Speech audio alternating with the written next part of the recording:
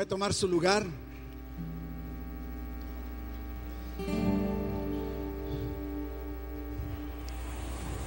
El día de hoy entramos con una temática. No dejes de cantar. No dejes de cantar. ¿Cuántas cosas nos privan, nos quitan el impulso de cantar, de adorar a Dios? Yo recuerdo en mis tiempos, en mis años mozos, allá por los años 70, salió una canción que sonaba por todas partes en la radio, por todas partes. Y, recuerdo que algo que me sorprendía es que lo cantaba todo el mundo, cristianos y no cristianos. Y dentro de esa, de esa canción me sorprendía el hecho de que decían, no se dan cuenta que en realidad lo único que están haciendo es cantar un salmo. Toda la letra de esta canción proviene de un solo salmo de la Biblia. Y, qué impresionante el que pudieran haber estado cantando y cantando y cantando y de alguna manera ni siquiera sabían el porqué. Y, y recuerdo que confrontaba yo a las personas diciendo, oye, ¿te das cuenta que lo que estás cantando es Biblia? Y como que no les agradaba mucho. Y me estoy refiriendo a una canción que se llama En los ríos de Babilonia. Los ríos de Babilonia. Muy conocida esta canción en su tiempo, en los años 70, a menos que usted no sea de esa generación como la mía. Pero lo que a mí me llama la atención es que yo decía, ¿qué, fue lo que provocó que este grupo que se llamaban los Melodians llegaran a, inspirarse en una canción del mundo, de la sociedad y que estuviera la letra de un, de un salmo como su letra? Eh, me estoy refiriendo en particular al Salmo 137. Ah, y curiosamente, fíjese que este, esta canción en su tiempo, allá en el año 70, salió como una canción de ragué, para que vea que el ragué no es nuevo, de ragué jamaiquino, y era una canción de protesta. Estaban en contra del gobierno jamaiquino y se sentían ellos, se proyectaron a estar experimentando aquello que experimentaba el pueblo de Dios en la cautividad.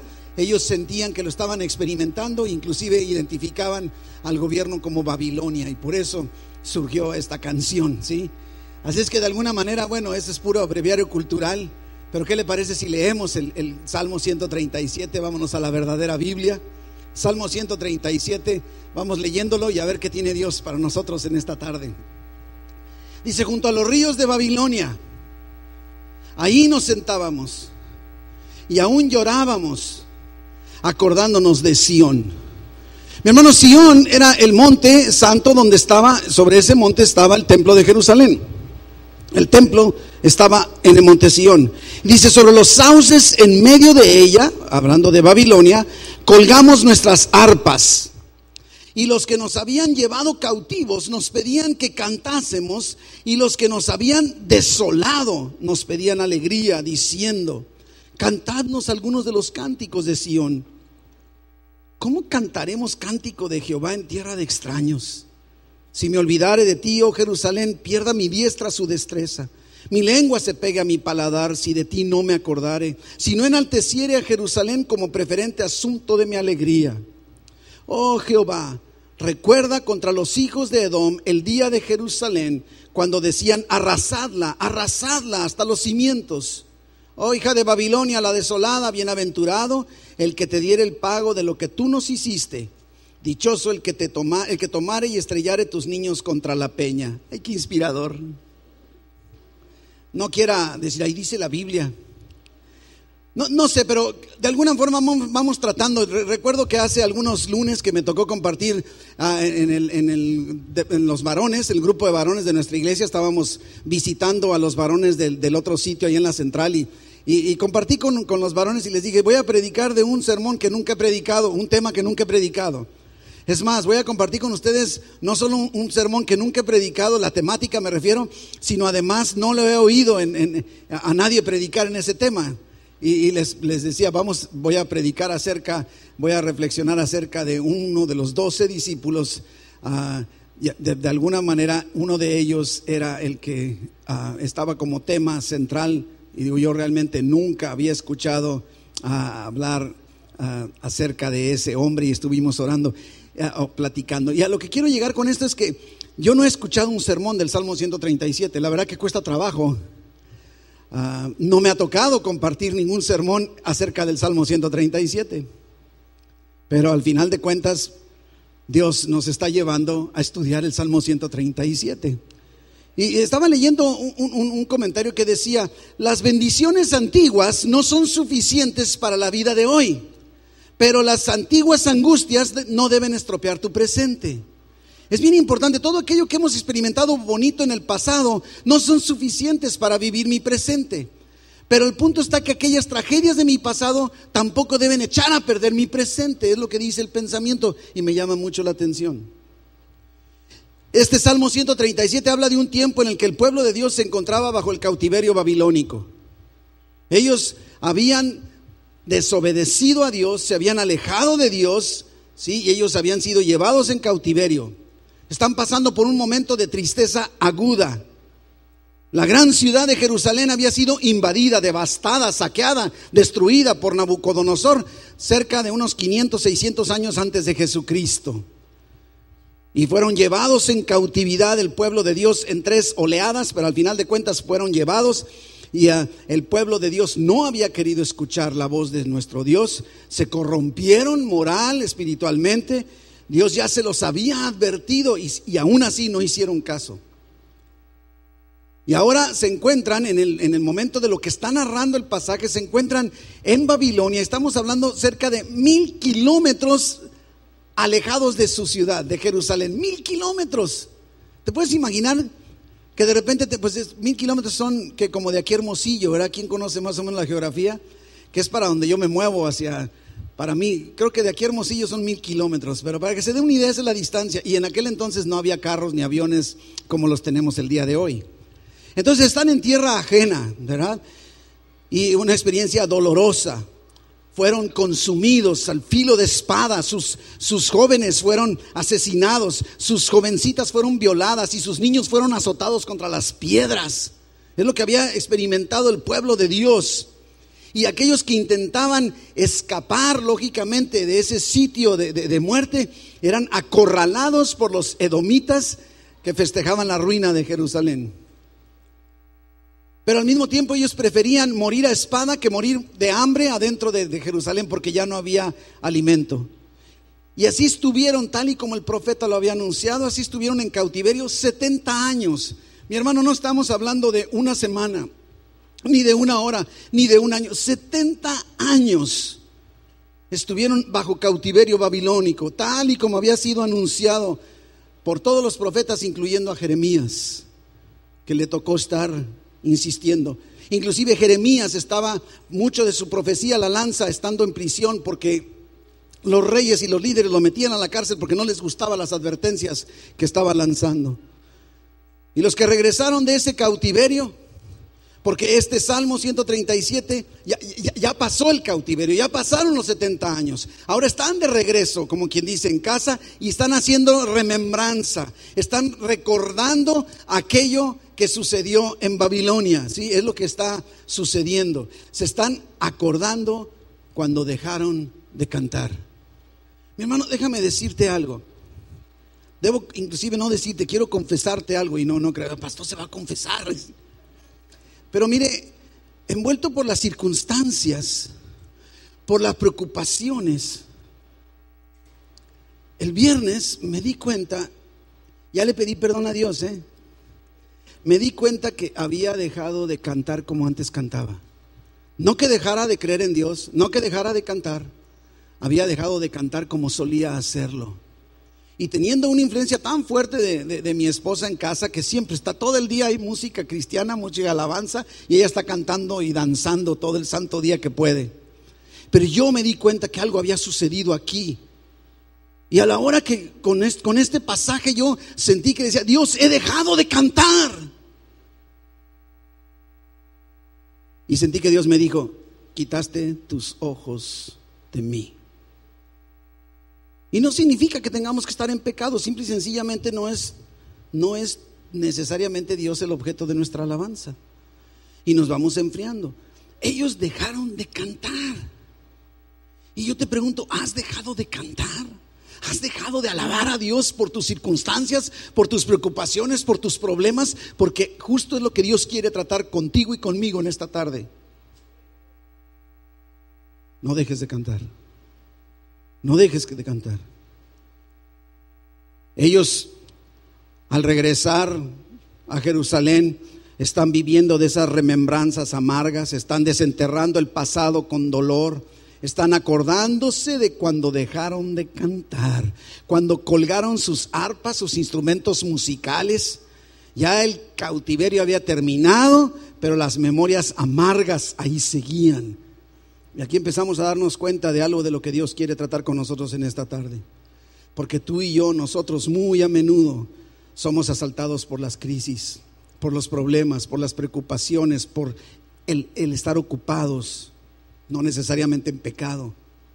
Perdemos el gozo. Y puedo, si no nos cuidamos, podemos amargarnos porque estamos permitiendo que las circunstancias determinen nuestras emociones. Y debemos tener mucho cuidado que esto no suceda.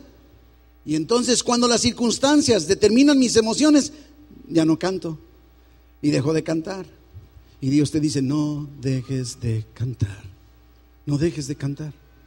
Y cantar me refiero a adoración, me refiero, no tienes que estar a, ronco pecho, como dice, no tienes que estar cantando a todo volumen. Yo, yo creo que podemos, podemos ah, cantar en la mente, podemos cantar tarareando, podemos cantar chiflando, porque me estoy refiriendo a una alabanza. En ocasiones, uh, que las circunstancias, tristemente, de repente están las cosas con menos presión o es un rato de descanso que tenemos. Y luego me dice mi esposa, hoy estás gozoso. Y le digo, ¿por qué? Porque estás chiflando. Se fija, pero es que ese es el punto. O sea, yo digo, entonces, si las circunstancias no lo ameritan, entonces no chiflo, no canto, no adoro. Y yo creo que esto es precisamente lo que Dios quiere tratar con nosotros en esta tarde. Es fácil, lógicamente, cantar en Sion, en Jerusalén. Es fácil cantar en la iglesia, aunque algunos se resisten. Pero es relativamente, aquí todos estamos cantando, todos estamos alabando, tenemos la música. El día de hoy con una escenografía medio rara, ¿verdad? Y dice, aquí va a salir el hipopótamo, pastor. Le digo, ya salió, aquí estoy, ahí sí. Pero de alguna esta es la escenografía del Congreso Sube de Niños que tuvimos ayer, ¿eh? No crea que así va a ser la decoración de nuestra iglesia, ¿eh? Yo quería que usted viera y experimentara un poquito de lo que nuestros niños el día de ayer estuvieron recibiendo. Era el circo de lo bueno y lo malo en nuestro Congreso Sube 2016. ¿Qué significa sube?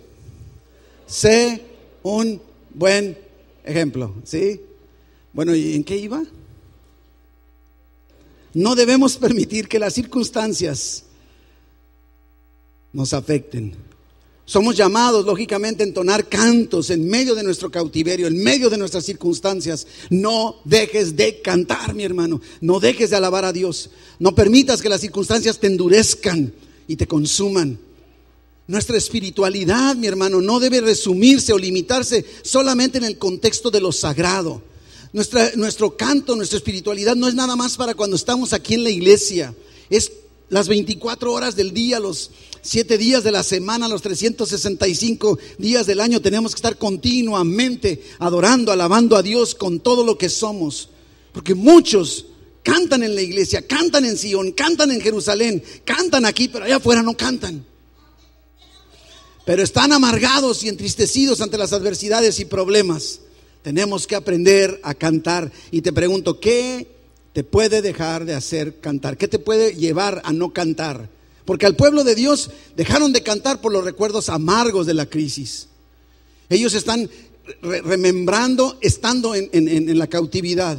Dice el versículo 1 donde estábamos ahorita leyendo, ¿no? Junto a los ríos de Babilonia. Ahí nos sentábamos, sentábamos y aún llorábamos acordándonos de Sión. Sobre los sauces, en medio de ella, colgamos nuestras arpas. Y los que nos habían llevado cautivos nos pedían que cantásemos. Y los que nos habían desolado nos pedían alegría diciendo, cantadnos algunos de los cánticos de Sión. ¿Cómo cantaremos cántico de Jehová en tierra de extraños? ¿Cómo? No olvidemos que el pueblo de Dios se había desviado. Se habían levantado reyes malos. ¿Se acuerda? ¿Se acuerda que platicamos hace poquito de Manasés?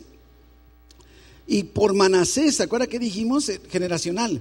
Por Manasés el pueblo está recibiendo dejaron la ley de Dios. Dios inclusive había levantado profetas uno tras otro, enviando mensajes, advertencias. Ellos los persiguieron, los mataron, los encarcelaron porque no querían escuchar la voz de Dios. El pueblo se corrompió. Y como consecuencia, tal y como Dios lo había anunciado, trajo Dios a Babilonia y entregó Jerusalén en las manos de Nabucodonosor. Y fueron llevados a tierra extraña, perdieron sus tierras, perdieron su patria, perdieron su libertad, perdieron sus familias. Esto es una tragedia. Esclavos en tierra extraña. No, no, quiero minimizar las circunstancias en las que el cuales el pueblo de Dios se encontraba. El pueblo de Dios se encontraba en una tragedia, era verdadera la tragedia, porque a veces no pasa nada, mi hermano, que no exagere, está todo. No, sí estaban en un problema.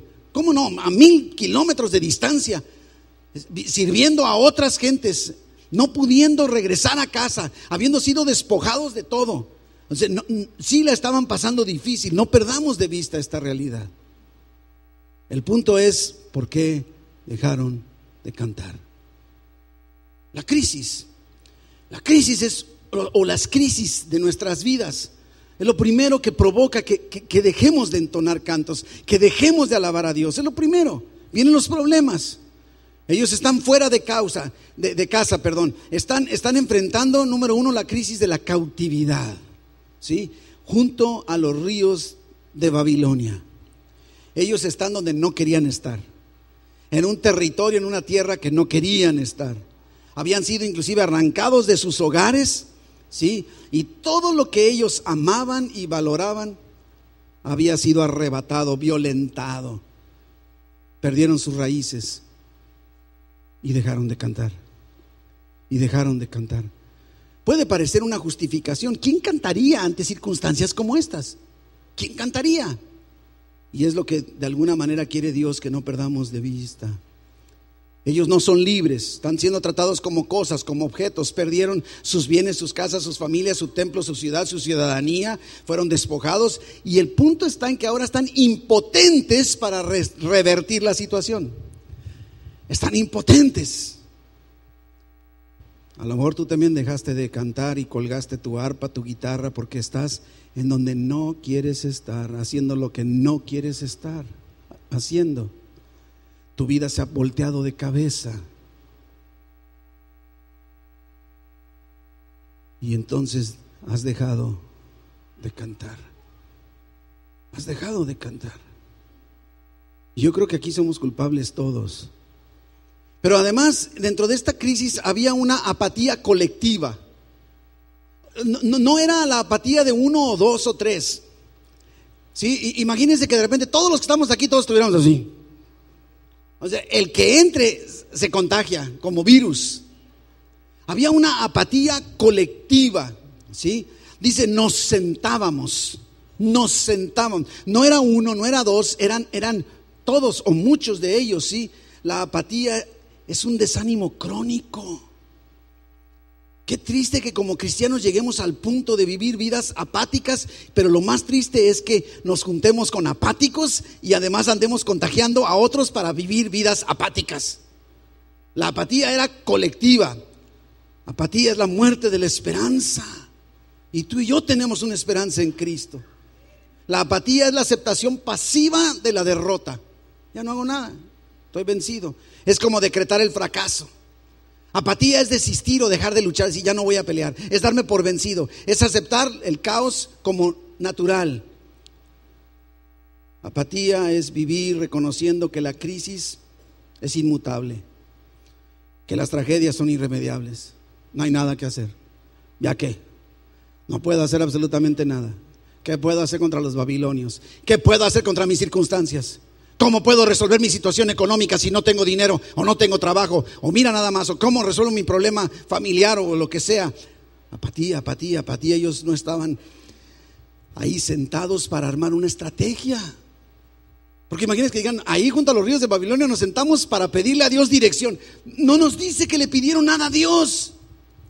¿Cuántas veces tú y yo caemos en esto? En un estado, no sé, de crisis que nos conduce a una apatía de tal manera que es de comunidad, de todo mundo, y nos olvidamos de pedirle a Dios su dirección. Hasta que de repente alguien dice, ¿oramos? ¿No le ha pasado? ¿No le ha pasado? Estamos, no, que quién sabe qué, que a lo mejor hasta en familia. Y es que, lo, ¿oramos? Y es cierto, por ahí hubiéramos empezado. Pero ellos no se detuvieron para orar. Se detuvieron para remembrar amargamente su pasado. Ellos están apáticos, contemplando su miseria quejándose, lamiéndose las heridas. Mi hermano, mi hermana, se necesita un sueño para soñar. Se necesita un sueño para soñar. Se necesita esperanza para esperar. Y tú y yo tenemos un sueño de Dios y esperanza de Dios. Pero ellos estaban resignados, como, como una especie de suicidio comunitario. Ya estamos, ya valimos, ya no servimos de nada, ya todo está acabado, ya no hay nada que hacer. Todos, todos desanimados. Y entonces no solo la apatía, sino viene la melancolía. Dios santo. ¿Ha conocido gente melancólica? Córrele, aléjate o impon manos.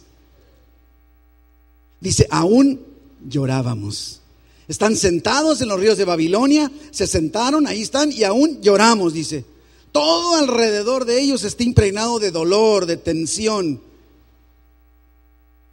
Y lo único que hacen es cantar, sí, pero una melodía de gemido.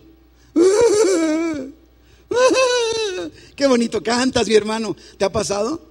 Mi hermano, ¿sabías que se requiere menos energía para cantarle a Dios que para quejarte? es que no sé qué voy a hacer. Ora, acércate a Dios, busca, cántale, cántale, aunque no sepas cantar, cántale aunque tengas mala voz. Cántale, cántale. Se requiere menos energía, menos esfuerzo físico para cantar una canción, una canción, tararéasela a Dios. En medio de tus circunstancias, en lugar de estar esperando que a ver quién, quién te consuela. Pero ellos se dieron por vencidos. Y tú y yo, ¿cuántas veces nos hemos dado por vencidos en medio de nuestras circunstancias y dejamos de cantar? Y dejamos de cantar. Mi hermano, yo te invito a que, que, te sirva el parámetro que, que, usó Dios conmigo. Si no estás cantando entre semana, mi hermano, pregúntale a Dios, hay algo que te está llevando a dejar de cantar. Y ese no es el deseo de Dios. No, es, no esperes a que todo te salga como tú quieras para empezar a cantar o seguir cantando. Cántale en medio de tus circunstancias. Cántale en medio de tu cautividad babilónica. Cántale, cántale, cántale. Aunque estés llorando. Junto a los ríos se acordaban de Sión. ¿Se fija? Es todo lo que hacían. Están sentados juntos, llorando, acordándose de los buenos tiempos. Es que yo me acuerdo. Escuché con mucha tristeza el día de hoy platicando de una persona que está dejando de asistir un poco a la iglesia y, me comentaban que su argumento era que sentía que como se había salido de su religión, sentía que Dios la estaba castigando por haberse venido a esta religión. Mi hermano, esta no es una religión. Aquí proclamamos una relación personal íntima con el creador del universo. Esa es nuestra realidad.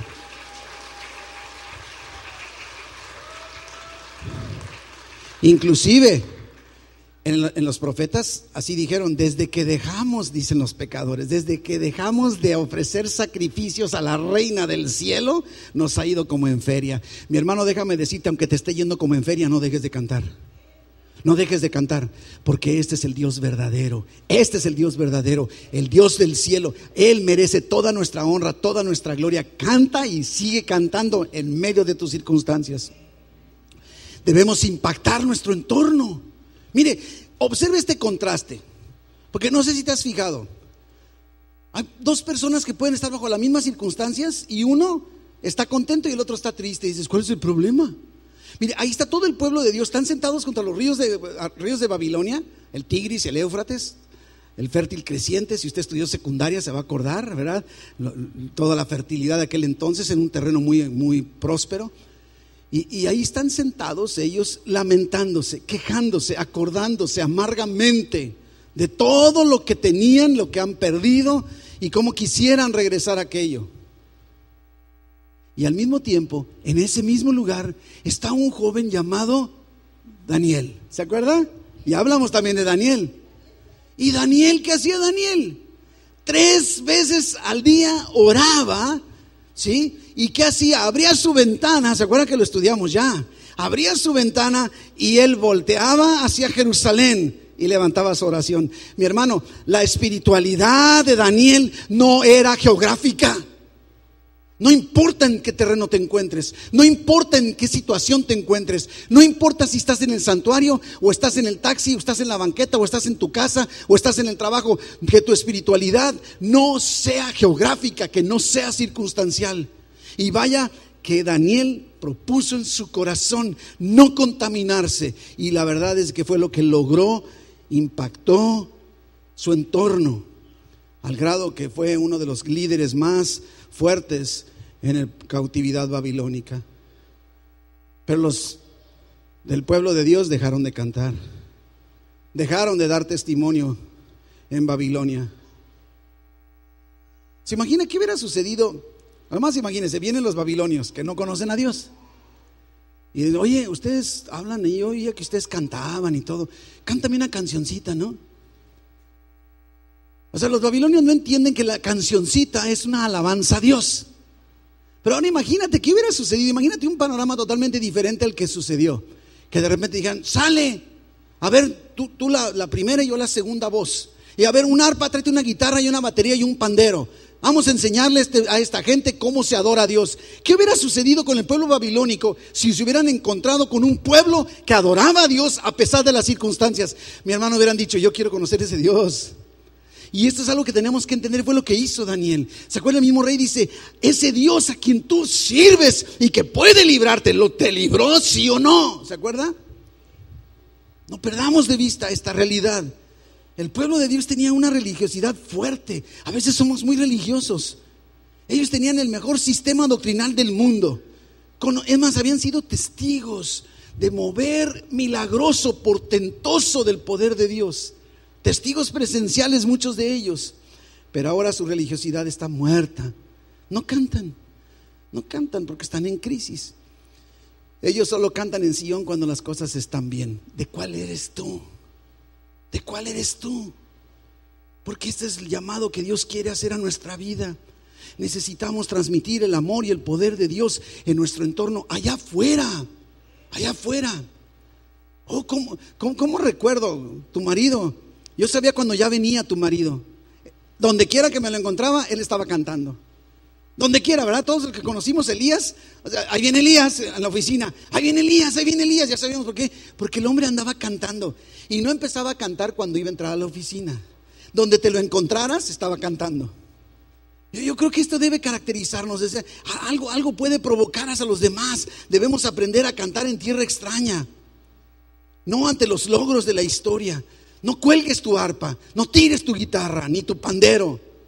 No dejes de cantar. Que tu fe no sea circunstancial, que tu fe no sea geográfica.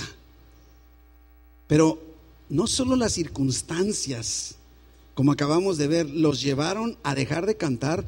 Hay un segundo factor bien importante, que aquí también viene Dios con toda su fuerza. Le voy a invitar a que diga, dame Dios lo que tienes para mí. Te prometo perdonar al pastor y ponerlo en acción. Ok, segunda causa. Ellos dejaron de cantar porque no habían perdonado. Dejaron de cantar porque no habían perdonado. Mi hermano, tenemos muchas cuentas pendientes. A mucha gente no hemos perdonado. Nos han dañado o nos sentimos dañados y no hemos perdonado. Miren lo que dice el versículo 5 de nuestro Salmo 137. Si me olvidare de ti, oh Jerusalén, pierda mi diestra su destreza. Mi lengua se pegue a mi paladar si de ti no me acordare, si no enalteciere a Jerusalén como preferente asunto de mi alegría. Pero mire lo que dice el versículo 7, para que vea que suena muy espiritual. Oh Jehová, Recuerda contra los hijos de Edom el día de Jerusalén cuando decían arrasadla, arrasadla hasta los cimientos. Ay Dios. Así como en pocas palabras, Dios, no se te olvide, ejecútatelos, acábatelos. No, no, le han pedido nada a Dios. Se fija, están sentados en los ríos de Babilonia, están cantando, bueno, le están pidiendo que canten, se están lamentando, están llorando, están diciendo, ¿cómo es posible que me pidas que cante? A Dios no le han dicho nada. Y cuando voltean sus ojos a Dios, Dios, échatelos. ¿Te has fijado que a veces así consumimos? Señor, hazme justicia. Señor, interven en esta situación. Y Dios dice, ¿y a qué me buscaste? ¿Por qué no me adoras? ¿Por qué no me alabas? ¿Por qué no cantas? No dejes de cantar porque estás sin perdonar y a lo mejor estás esperando que Dios actúe y haga tu justicia o la cumpla. Si tu espiritualidad interrumpe tu cántico, mi hermano, ante la injusticia y la opresión, esa espiritualidad no es verdadera. Porque a veces somos así, justos. No, es que esto es una injusticia. Algo tenemos que hacer. Y dejas de cantar. No dejes de cantar. No dejes de cantar. Si andas colgando tus arpas en tierra extraña. Porque cuando andas alejado en los problemas, eso no es una espiritualidad verdadera. Si tu liturgia es solamente adentro de las paredes de un templo, eso no es una verdadera espiritualidad. Y el canto muestra nuestra espiritualidad en cierto grado. Algunos viven espiritualidades místicas, aquellas que fuimos a un encuentro y regresé, ahora sí sabrán quién soy yo. ¿Se ha fijado? Lo he escuchado, no creo que lo estoy inventando, ¿eh? Y ahora sí, ¿verdad? Y a la semana no sabemos ni quién fue. Muchos viven así una espiritualidad de mística, de monte, de vigilia, de campamento, de congreso. Oh, solo le pido a Dios que muchachos que regresaron del congreso, del campamento hace dos semanas, por favor no, no dejen eso que comprometieron con Dios. Oye, yo pude ver el día de ayer tanto, tanto voluntario sirviendo y entre ellos tanto jovencito. Oh, como, mire, se aplica tanto, me decía ahorita nuestro hermano Luis Felipe, se aplica tanto al tema de la semana pasada generaciones. ¿Sabe qué estaba observando? Muchachitos siendo guías de los niños, que cuando fueron niños, ellos estuvieron en un sube. Se sabían las canciones. Yo digo, ¿quién se las enseñó? Las aprendieron en el Congreso Sube. Eso es transmitir generaciones y Dios va a seguir obrando y moviéndose de esa manera. No dejes de cantar. Pero regresando al perdón, es tan importante. Este pasaje que acabamos de ver, esta parte, está repleta de violencia, de deseos de venganza. Inclusive eso es lo único que les impulsa a hablar con Dios. Qué triste que lo único que te impulse a ti para hablar con Dios sea venganza, castigo para el opresor. Qué triste. No digo que no pidas que Dios intervenga, pero que ese sea lo único. Ellos estaban amargados, llenos de odio. Y para acabarla de amolar, sus opresores están contentos y le dicen, cántame una cancioncita. Están viviendo una espiritualidad en amargura. Y somos culpables cada uno de nosotros. Ellos están viviendo en base a lo que fue, a lo que era, a lo que pasó, a lo que aconteció. Pero ya no es. Ya pasó. No, no minimizo, y, tan no es así que Dios intervino. Pero Dios intervino contra los edomitas y contra los babilónicos, no porque ellos pidieron. ¿Sabías tú que inclusive había ya profecía? El, profeta Abdías es un, un, profeta de una sola página de la Biblia. Abdías profetizó en contra de los edomitas. Y justo dice, porque tú te alegraste cuando tu hermano estaba siendo llevado a cautiverio y por lo tanto ahora te toca a ti. Dios de todas maneras va a hacer su justicia. Deja que la haga, pero tú perdona. Tú perdona. ¿Te has fijado cómo traemos? Es que no, si tú supieras lo que me hizo. Y, hace cuánto? No, que hace 40 años y que seguimos, ¿no? O sea, por el amor de Dios. Hemos dejado de cantar porque no sabemos perdonar. Hay personas que, ¿sabías que hay personas que se han alejado de la iglesia? Así porque dicen, ay, ya vino el fulanito para acá. Digo, no es posible que podamos sacrificar nuestra espiritualidad solo porque no sabemos perdonar. Y ellos están viviendo en, tranquilidad, aun y cuando están en, en cautividad, pero están viviendo en el pasado. Un recuerdo nostálgico del ayer les roba el entusiasmo para vivir el presente. Oye, es que estos edomitas me platicaron ¿Supiste el hijo de la fulanita? Cuando salió, los edomitas lo mataron. ¿De veras? Sí. ¿Cómo se llamaba? No sé, pero por ahí supe. Muchas veces así somos. Y estamos culpando, culpando, culpando, pero nos han hecho daño. Hay gente que nos ha hecho daño. Suelta. Mi, mi hermano, el perdón es una decisión. yo no puedo perdonar hasta que sienta que debo perdonar, porque entonces nunca voy a hacerlo. Yo decido perdonar porque Dios me ha dicho que debo perdonar. Y entonces decido, te perdono en el nombre de Jesús. Pero no es hasta que me emocione y lo sienta yo. Ellos ahora, el pueblo de Dios, están viendo el mañana como haciéndose socios de la tragedia. En realidad es eso, quieren que la mañana llegue para matar, para arrasar, para destruir. En realidad ellos quieren un holocausto. El futuro de ellos es el odio. Y lógicamente profetizan lo irremediable. Ningún intento hay de ellos para perdonar a sus opresores. Sueñan con una destrucción inmediata de los edomitas. Va en contra de toda espiritualidad. A los edomitas, ¿sabe quiénes eran los edomitas? Si usted regresa en la historia un poco, está Abraham, ¿se acuerda de Abraham? Tuvo un hijo de, la promesa con Sara, Isaac. Isaac tuvo dos, dos hijos gemelos, ¿se acuerdan? Jacob y Esaú. Esaú es Edom y de ahí de Esaú vienen los edomitas. Así es de que vienen de, de, Jacob viene el pueblo de Dios y de Esaú vienen los edomitas. Y aún así siguieron peleándose a muerte, otra vez hablando de las generaciones. Pasan generaciones y generaciones y el pleito original de dos hermanos está siendo transmitido a las generaciones de todos dos pueblos completos. Y han perdido su capacidad de amar y de perdonar. Están presos del día de la tragedia, del día del dolor, del día de la masacre. ¿Se acuerdan de la cobardía de los edomitas, de la injusticia? No perdonan, no tienen paz, no se olvidan de ese día en el que fueron agredidos. Ay, te lo tengo guardada. Dice Dios, mía es la venganza. Deja que Dios haga. Yo pagaré, dice Dios. Debemos perdonar. No dejes de cantar porque no has perdonado. Y no solo se acuerdan de ese momento, ¿sí? Sino también de las palabras que fueron emitidas, no solo la agresión, sino las palabras, y ahora van contra Babilonia, no solo contra los edomitas, ahora contra Babilonia. Y dicen, arrasarla, que dice, nos dijeron que la arrasaran. Y dice, de alguna manera, hasta los cimientos, dice, ¿oíste Dios que eso dijeron, eso desearon para nosotros? Ellos están guardando en sus mentes y sus corazones todas las ofensas y las amenazas. ¿Te has fijado que a veces así somos?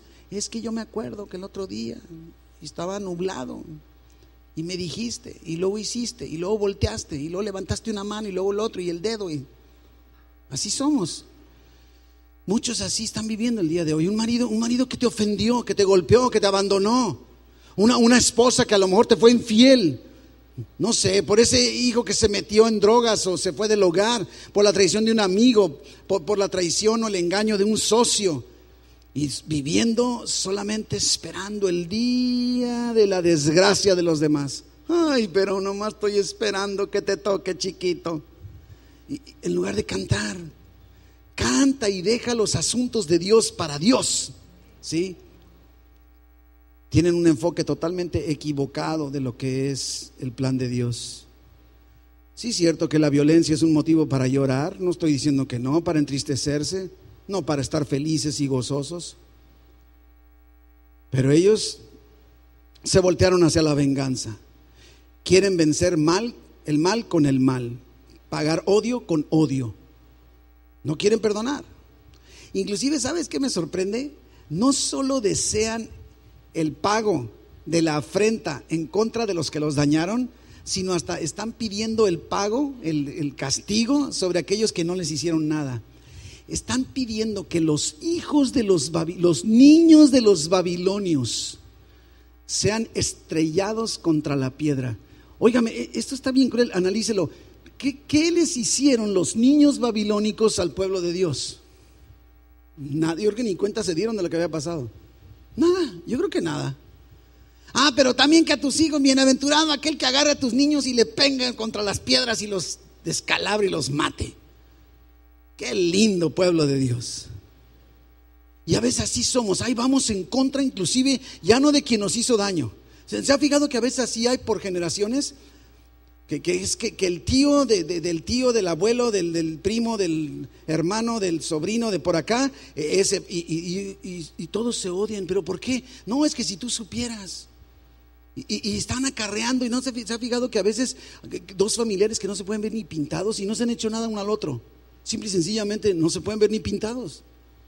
Como consecuencia de que en sus antecesores no hubo un perdón que liberara las consecuencias. También esto es generacional, como estuvimos viendo el domingo pasado. Ellos tenían una relación institucional con Dios y no una relación personal. Relación personal. La bendición de ellos no viene de Dios, viene de Jerusalén. Es lo que están buscando. Ellos sienten que estando en Jerusalén todo va a estar en orden. Y por eso están hablando de Jerusalén. Y la única vez que ellos se acuerdan de Dios es para pedir destrucción de sus enemigos. Muchos, muchos viven defendiendo su religión, pero no tienen intimidad con Dios. Me preocupa. Recuerdo al estar caminando por las calles, usted creo que le ha tocado, y, mire, mi objeto no es criticar, solo señalar una realidad. ¿Cuántos de nosotros no hemos visto letreros en las casas afuera que dice este hogar es un hogar católico, no venga a molestarme. Viven, o sea, defienden la muerte de su religión. Y yo me pregunto cómo estará la espiritualidad, porque tenemos que aprender a perdonar. Tenemos que aprender a perdonar. Mi hermano, que las circunstancias en tu entorno no te obliguen a dejar de cantar, de alabar a Dios. Y debemos llegar al punto de pedir a Dios que nos revele y tomar la decisión de perdonar. Perdonar es una decisión. No estés esperando a que te Dios hazme que yo pueda perdonar. No, decide, te va a decir Dios. Decide perdonar. Porque al final de cuentas, creo yo, en el enfoque positivo de todo esto, tenemos muchos motivos para cantar, ¿verdad que sí? Tenemos muchos motivos. Ellos estaban en cautividad pero tenían muchos motivos para cantar, pero no están, no están viendo eso. Y también cuando tú y yo no nos fijamos en los motivos verdaderos para cantar, en las bendiciones de Dios, dejamos de cantar. Dejamos de cantar. Porque no estamos atentos a lo que sí tenemos. ¿Se acuerda aquella viuda con el profeta? Y el profeta le dice, ¿qué tienes mujer en casa? Y dice, no tengo nada más que esta seca de aceite. No dejes de cantar Dale gracias a Dios por lo que sí tienes. Porque Dios te ha bendecido, aún en medio de tus problemas, de tus circunstancias, Dios ha bendecido tu vida y se ha mostrado poderoso en tu diario vivir. Ellos tenían alimento, tenían sombra para descansar, están sentados, digo, imagínate que digas, voy a pasármela todo el día sentado y que me digan que cante y no quiero cantar. Oye, aquí sí que no estaban trabajando, yo no sé. Dios nos invita a cantar en la agenda de lo absurdo. En la agenda de lo absurdo. ¿Se acuerda Pablo y Silas en prisión ahí en Hechos 16? Están en prisión, están encadenados y se ponen a cantar. No cantaron una vez que fueron liberados, cantaron y luego fueron liberados. El mismo Jesucristo Aquella misma noche en la que fue entregado, ¿sabe qué fue lo primero que hizo al estarse reuniendo en esa santa cena, en esa última cena con sus discípulos? Cantaron el himno. Jesús, sabiendo que va a ser sacrificado, azotado, crucificado, asesinado, dice, vamos a cantar un himno. Vamos a cantar un himno. Ese es el ejemplo que Jesús nos deja. Precisamente nos dice el apóstol Pedro, ¿verdad? Que Jesucristo nos dejó ejemplo para que sigamos sus pisadas para que sigamos sus pisadas. Y dice, quien cuando le maldecían, no respondía con maldición. Y dice, y cuando padecía, no amenazaba, sino que encomendaba la causa al que juzga justamente. Ese es el ejemplo de Jesús. Suelta, mi hermano, perdona al que te ha dañado. Perdona al que te ha dañado. Este es el llamado que Dios está haciendo a nuestras vidas. Y, y termino diciéndote, mi hermano, no dejes de cantar en medio de tus circunstancias difíciles. La vida no es fácil, la vida es injusta. Está llena de dificultades. No dejes de cantar. Adora a Dios en medio de la dificultad, en medio de tu, cautiverio, de cautividad. Adora a Dios. Y no permitas que el resentimiento por lo que los demás te han hecho te prive la bendición de adorar a Dios. Mejor, ¿sabes qué? Hasta puedes hacer, ¿se ha fijado que muchos a los niños, ahora estamos enseñándoles el Salmo 139 para que lo, eh, lo repitan aquí en el día de la Biblia, en agosto? Y, en muchas ocasiones se aprenden de memoria cantando. No sé si usted se fijó en la graduación del año del domingo pasado, los niños se sabían los, nombres de los libros de la Biblia cantado. Y entonces usted puede decir así, como hacen los niños. ¿Se acuerda cómo se aprendían las tablas? Dos por dos son cuatro, dos por tres son seis, dos por cuatro, ¿cuántos dos por cuatro? ¿sí? ¿Sí me doy a entender? Igual, ¿sabe qué? Así puede, ponte a cantar y di, Señor, yo perdono a mi esposo. Señor, yo perdono a mi esposa, te doy gloria. Es que sabe que tenemos que accionar. el perdón es una decisión. Mi hermano, haz un lado tu perspectiva de las circunstancias, decide perdonar a tus opresores y observa y concéntrate en lo que Dios te ha dado y empieza a cantar. Empieza no te vas a sorprender que al empezar a cantar algo va a suceder en ti. Vas a empezar a recibir la libertad de haber perdonado y vas a empezar a tener una perspectiva de lo que sí tienes a tu alrededor que Dios te ha llenado de bendición. ¿Está alguno entre vosotros afligido? Dice Santiago haga oración. ¿Está uno triste? ¿Verdad? Haga oración, pero si estás alegre, cante alabanzas. ¿Está alguno enfermo? Llame a los ancianos y oren por él ungiéndole con aceite en el nombre del Señor. Pero mi hermano, Dios es lo que quiere que hagamos, que no imitemos al pueblo de Dios en Babilonia. Y que en medio de nuestras circunstancias podamos alabarle. Cierra tus ojos, mi hermano. Cierra tus ojos.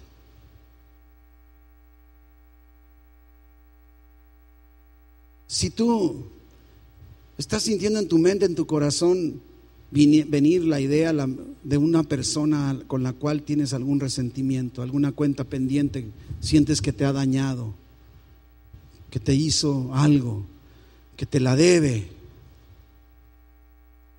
mi hermano, no dejes de cantar y yo te invito a que ahorita digas, en el nombre de Jesús, decido perdonar a fulanito, a fulanita, pero toma la determinación en el nombre de Jesús. Hazlo, hazlo, no lo, no lo descuides. Perdona, perdona, suelta, suelta. Dile, Señor, yo no puedo perdonar, pero eh, quiero ser obediente. Y tomo la decisión, tomo la decisión porque quiero cantar, quiero alabarte con libertad. Y mi hermano, quita tus ojos de tu problema, de tus circunstancias. En lugar de estar sentado quejándote, lamentándote y amargándote, pídele a Dios una estrategia. Cántale diciendo, Señor, muéstrame, muéstrame por dónde ir, qué hacer. Oh Padre bendito, te doy tantas gracias por tu favor, por tu misericordia por este tiempo, Señor, que aún en un pasaje complicado, tú, Señor, nos hablas. Gracias, Padre, por tu palabra. Y te pido, Señor, que nos lleves a ese punto de perdonar. Perdonamos en el nombre de Jesús. Y perdónanos, mi Dios, por estar concentrados en nuestras tragedias y porque hemos dejado de cantar. Te alabamos, mi Dios. Te glorificamos. Y aunque no sepamos cantar, queremos adorar y bendecir tu nombre, el nombre de Jesús. Oh, mi hermano, dile, te adoro Dios. Te adoro, di Dios. Te alabo en medio de mis circunstancias. No importa lo que estoy experimentando. Dile, dile, dile.